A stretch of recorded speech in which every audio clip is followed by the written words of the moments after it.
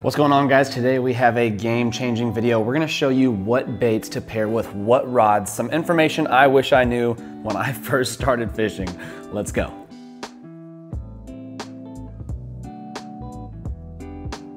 So straight away, y'all, one of my biggest questions when I first got started was what baits to use with what rods. And frankly, it was actually one of the most confusing things to me because you would assume you got a fishing rod, you got a bait, you're good to go, and in many cases you are. But there are rods suited and techniques that require certain rods. So what I found over the last few years of fishing is that different lengths of rods are gonna work best for certain baits. Different ratings as far as heavy, medium heavy, uh, medium is going to be best for certain baits certain tips with a little bit more give. They call it the soft or slower tips, kind of like slower to rebound, or fast tips, right? Just real stiff are required for certain baits. I'm gonna go ahead and tell you straight away, just for all types of baits across the board, general bass fishing, if you only had one rod in your arsenal, it's gonna be something like a seven foot medium heavy fast action rod. Now Googan Squad sells the go-to rod, which is exactly that, but then also we have a few others in the lineup, right? We have their muscle rod, a little bit beefier. We've got their twitch rod,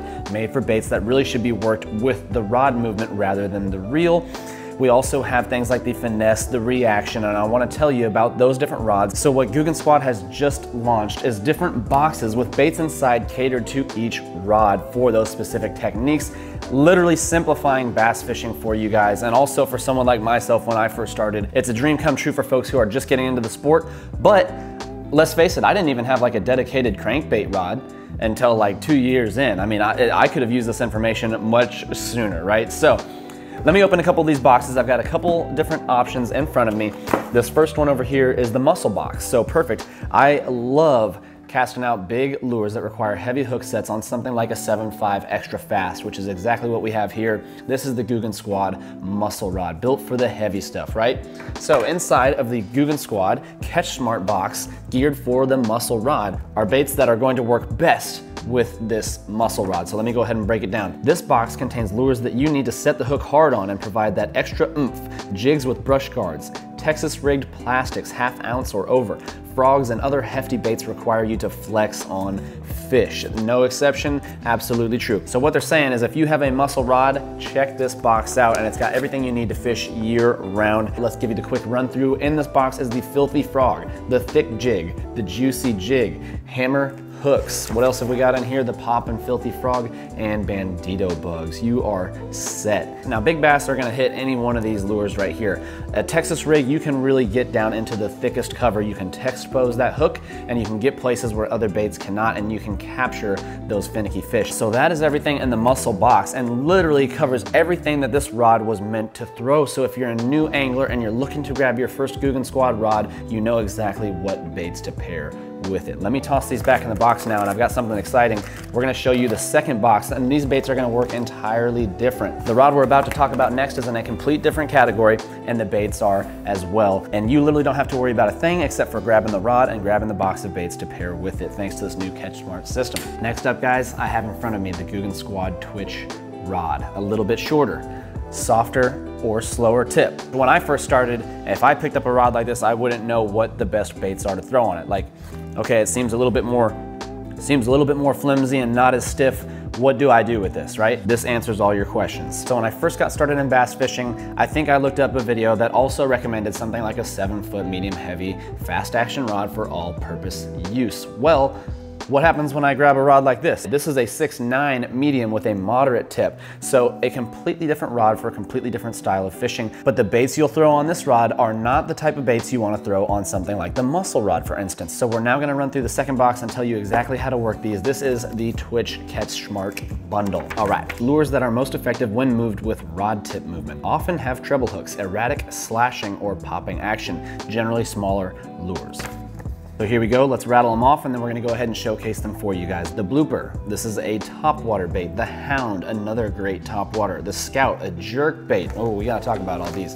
Then you have a mini banger. Okay, so a lot of variety in this box and I'll tell you why you might throw a crankbait on this rod. And then you also have the Junior Scout, just a smaller version of the Googan Squad jerkbait. There's also Where to Fish Twitch lures. And then also if you have the Googan Squad go-to rod, their finesse rod or their reaction rod, there's boxes for all of them. I just didn't want to take up too much of your time. I have two great examples here, but know that there's a box catered to every different rod the Googan Squad offers. So you might be wondering, well, I could just throw the jerkbait on the muscle rod or another rod. Well, it's not gonna work out quite as well. This guy's a little bit shorter. It allows you to point the rod tip down closer to the water as you're working the bait. With something like the muscle rod, your rod isn't gonna be facing the water as much as it's gonna be facing out it doesn't allow you to work those baits as effectively. Also, this one's got that slower tip. So if something were to grab hold of this jerk bait, because that rod tip has got a little bit more give in it, it's gonna make sure it keeps that line tight no matter what the bass are doing. You're gonna lose less fish when you're fishing something like a jerk bait on this style rod. What's next? We have a mini banger, so a lighter crankbait. You might be thinking, well,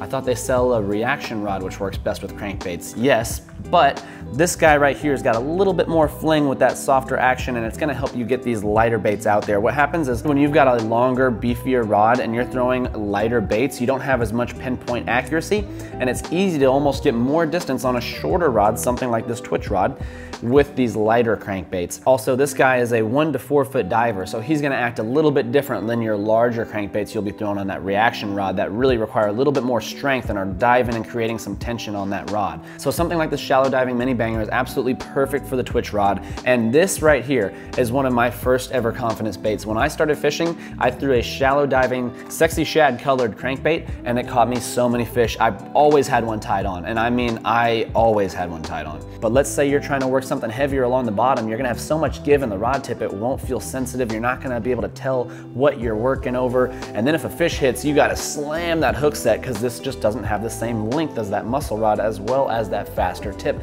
to get the job done. That's exactly why these boxes have come out and have simplified things for us fishermen. So guys, I just wanted to I've got a lot more fishing videos coming your way soon, but I had to break this out because it is brand new to the market. Again, at GooganSquad.com, use code Westin for 10% off any of the Catch Smart bundles that are gonna pair with the right rod for the occasion. I hope you guys enjoyed a little bit more of a tip and tutorial video. If you did enjoy this and you want to see me break down the lures in these other boxes, go ahead and drop a like. If we can get this video to 1,000 likes, I will cover the go-to box, the reaction box, the finesse box, whatever you wanna see more of, you let me know down in the comments section.